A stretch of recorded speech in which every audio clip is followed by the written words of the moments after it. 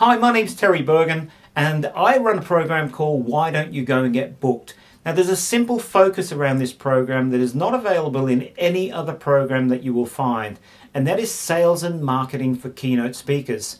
I've worked with some of the best keynote speakers in the world, and look, let me tell you, what I've found common to most is that they don't have a sales and marketing system inherent in their business.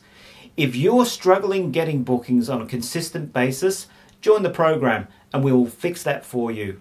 In the meantime, why don't you go and get booked?